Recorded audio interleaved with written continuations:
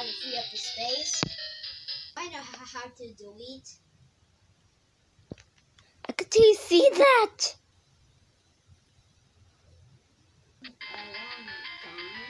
This will take a very long time to delete. I'm even 3,000 today.